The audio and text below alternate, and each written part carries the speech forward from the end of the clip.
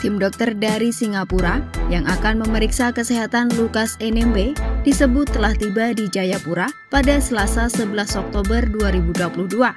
Hal itu diungkapkan oleh dokter pribadi Gubernur Anton Mote. Anton menyebut tim dokter yang berjumlah tiga orang itu akan segera bertolak ke kediaman pribadi Lukas NMB yang terletak di Koya Tengah, distrik Muaratami, Kota Jayapura.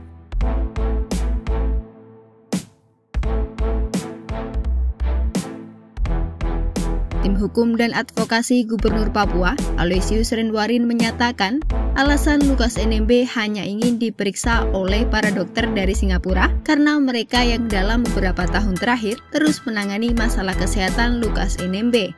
Sebagai informasi, sejak 5 September 2022, Lukas NMB telah ditetapkan sebagai tersangka kasus gratifikasi senilai 1 miliar rupiah.